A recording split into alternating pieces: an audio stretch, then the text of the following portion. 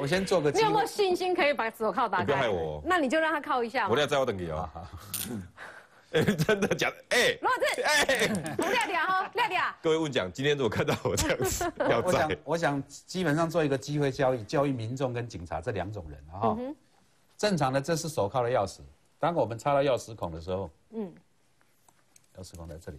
当你转动的时候，它有接触到一个弹片，对，这样就可以打开嘛，对不是对？是是，好，那么当这个钥匙离开的话，像刚刚那个挂在胸前的项链，嗯，它就是偷渡钥匙在身上嘛，对。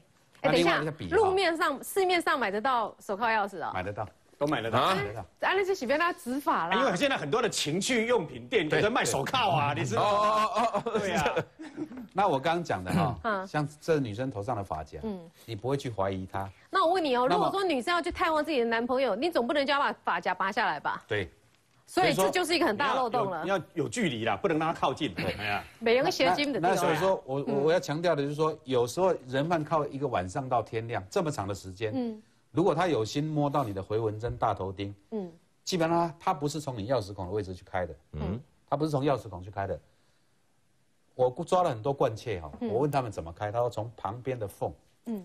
去顶他的弹片，嗯，拜托哎，一定爱开。我哎呦，啊，对。这么厉害，顶了就开了。对对，那嗯，前后多久？一秒天哪！哦。所以手铐根本没有录用嘛。